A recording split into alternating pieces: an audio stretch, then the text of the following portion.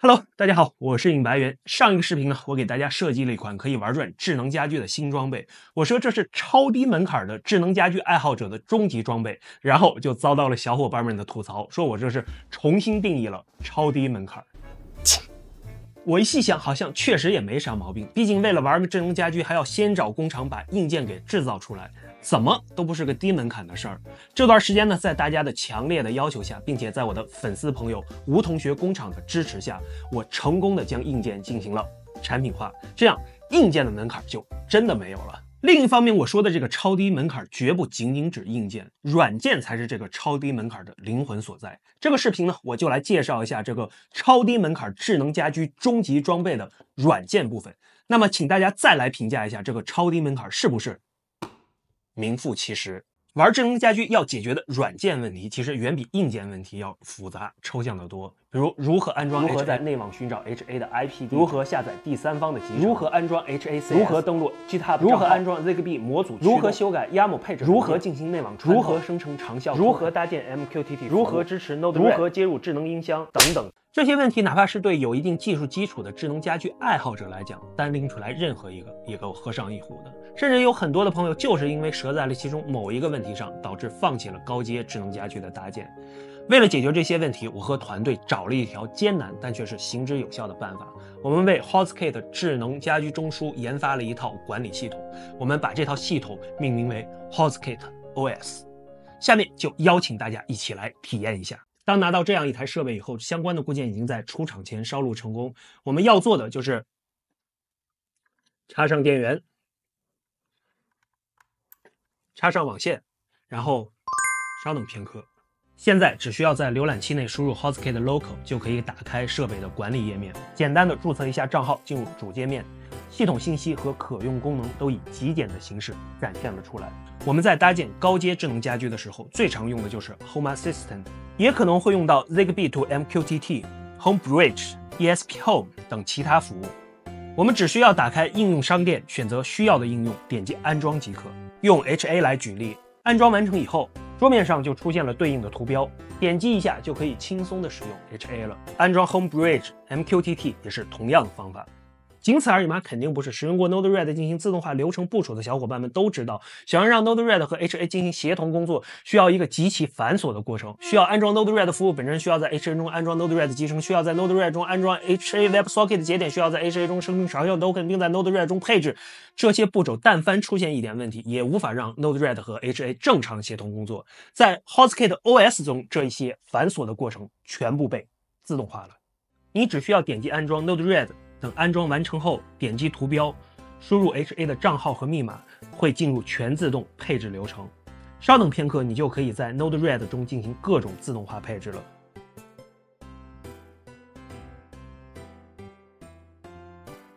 再比如搭建 Zigbee to MQTT，安装好以后，我们只需要输入 MQTT 服务的地址，剩余的工作交给系统就行。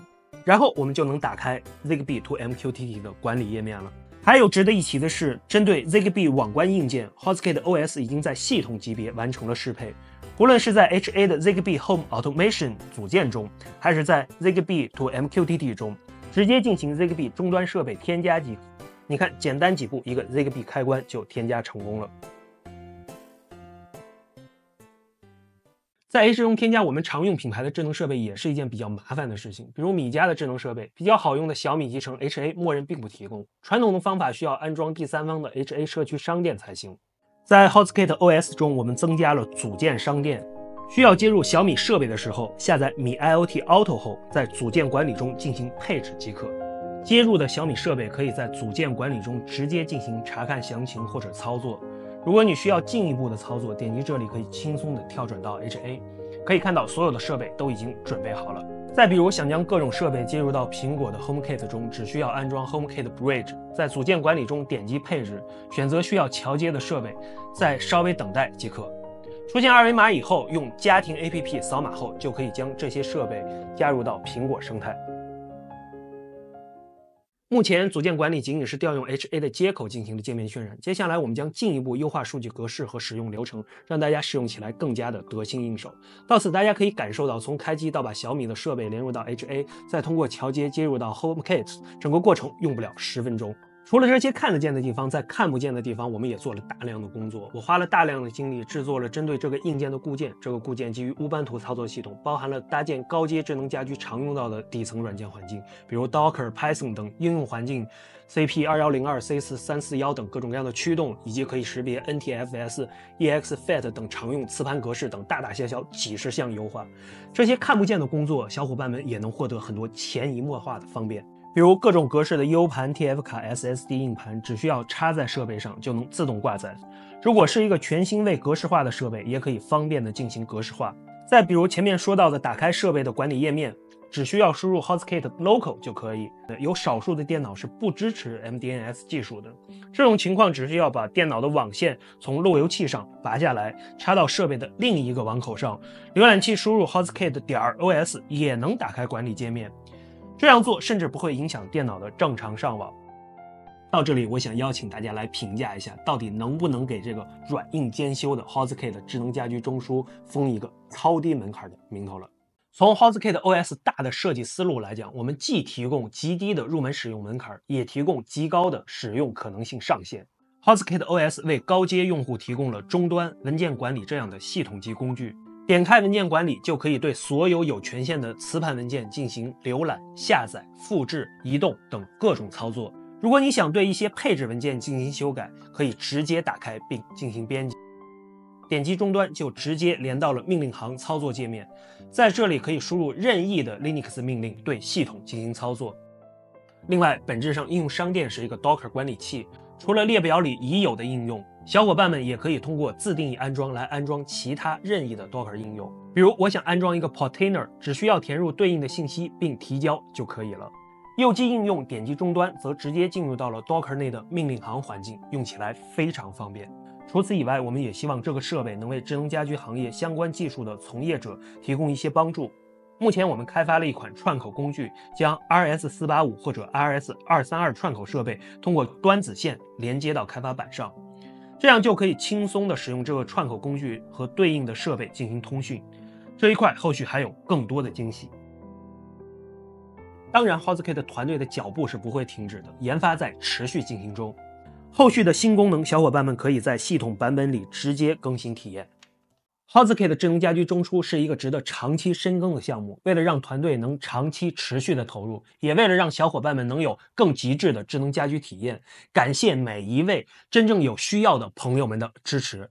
那我们也和工厂协商了一套严谨的产品质量检测流程，每一台设备在出厂前都会经过四小时以上的老化测试，每一台设备的功能都要经过我开发的这个测试平台进行详细的测试，才算合格。有需要的朋友们在淘宝搜索“尹白源期货铺”就能找到这个产品。